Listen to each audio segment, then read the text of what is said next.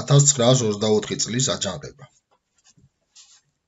ქართული სახელმწიფოებრიობის დაკარგვისთანავე დაიწყო ბრძოლა საბჭოთა საოკუპაციო რეჟიმის წინააღმდეგ.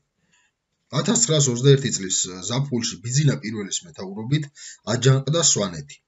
ამბოხებულებმა გადაკეტეს სვანეთისაკენ მიმავალი გზები, ამხეს რევკომები და განაიარაღეს მილიციის პუნქტები. თბილისში გაიგზავნა მოთხოვნა რუსეთის ჯარების საქართველოსდან აყვანის და თავისუფალი არჩევნების ჩატარების შესახებ. აჯანყების ჩასახშობად გაგზავნილი გაგზავნილი დამსჯელი რაზმები სვანებმა დაამარცხეს. იგივე განმეორდა 1922 წელსაც, მაგრამ ამბოხებულები საბოლოოდ რეგულარულ ჯართან დამარცხდნენ და დაიწყო რეპრესიები. აჯანყებულებს თანაუგზავნდნენ ქართველი ინტელექტუალები და საზოგადო მოღვაწეები. კათალიკოს პატრიარქმა ამბროსი ხელაიამ 1922 წელს სპეციალური წერილი გაუგზავნა გენუის საერთაშორისო კონფერენციას. მიმართვაში ის ხას უსვამდა საბჭოთა რუსეთის მიერ საქართველოს ოკუპაციას, ბოლშევიკების მიერ საღვთელოების დევნის ფაქტებს და დახმარებას ითხოვდა. თუმცა როგორც ყოველთვის უშედეგოდ. არავინ არ გამოხმაურებია მის ამ წერილს. 1922 წლის გაზაფხულზე შეიქმნა ინტერპარტიული ორგანო საქართველოს დამოუკიდებლობის კომიტეტი, ეგრეთ წოდებული დამკომი, რომელშიც ყველა ძირითადი პოლიტიკური პარტია შევიდა. ბანკოვის წევრები იყვნენ გოგიტა ფაღავა, იოსონ ჯავახიშვილი, ნიკოლოზ ქარცვიძე, კონსტანტინე ანდრონიკაშვილი და სხვები. 1921 წლის პარტიზანული რაზმები ჩამოყალიბდა კახეთსა და ხევსურეთში. აჯანყების ორგანიზებას შეუდგა ქაკუცა ჩოლოყაშვილი. ქართლში შეიარაღებული რაზმი შექმნა მიხეილ ლაშქარაშვილმა. 1922 წელს ქაკუცა ჩოლოყაშვილის რაზმმა ჟინვალთან დაამარცხა რუსეთის ჯარის ერთ-ერთი რაზმი. ხელისუფლებამ არაგვის ხეობაში დიდი სამხედრო ძალა გაგზავნა. ქუცამ უკან დაიხია და ხევსურეთში გადავიდა. რუსეთის საოკუპაციო ხელისუფლების წინააღმდეგ 1922 წელს შეიქმნა სამხედრო ცენტრი, რომლის აქტიური მოღვაწეები იყვნენ გოგიტა ფაღავა, ვარდენ წულუკიძე, როსტომ მუსხელიშვილი და სხვები. სამხედრო ცენტრს სათავეში ედგა ილია ჭავჭავაძის დიშვილი, ნერალი კოტი აფხაზი. 1922 წლის ივლის-აგვისტოში ქაქუცა ჩოლოყაშვილმა ამბოხება დაიწყო კახეთსა და ფშავ-ხევსურეთში. აჯანყება დაიწყო პანკისის ხეობიდან, სადაც შეფიცულთა რაზმი შეთისაკენ დაიძრა. ეგმის მიხედვით, მათ ზურგიდან მიხეილ ლაშქარაშვილი უნდა დახმარებოდა ქართლთა რაზმით. პარალელურად გამოსვლები უნდა დაწყებულიყო დასავლეთ საქართველოსშიც. შავში სოფელ მაღაროსკართან გამართა შეტაკება ქაქუცა ჩოლოყაშვილის რაზმსა და რუს ჯარისკაცებს შორის. ქაქუცას რაზმი ხევსურეთში გადავიდა და ბარისახოში დაბანაკდა.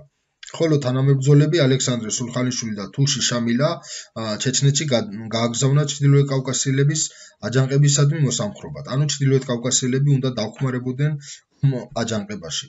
ქაქუცას მუდმივი კავშირი ჰქონდა სამხედრო ცენტრთან, საიდანაც სადაზვერვო ინფორმაციას იღებდა. ხედავთ კარგად დამუშავებული სამხედრო გეგმისა, აზმა ვერ შეძლო რუსეთთან გამკლავება. ამიტომ ალყა ალყა გაარღვია და კაკუცა კახეთში გადავიდა. სამხედრო ცენტრი ჩავარდა. მისი წევრები 1923 წლის 23 მაისს დახვრიტეს. პუტი აფხაზისა და მის თანამებრძოლთა დაკარგვამ ნეგატიური გავლენა იქონია აჯანყების მზადებაზე. ასევე დააპატიმრეს დამკომის თავმჯდომარე ნიკოლოზ ქარცვიძეც.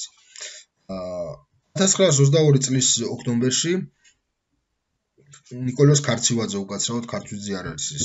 1922 წლის ოქტომბერში უცხოეთიდან საქართველოში დაბრუნდა სოციალ-დემოკრატი ნოე ხომერიკი, რომელმაც თავისი თავის წრეში გაშალა მუშაობა.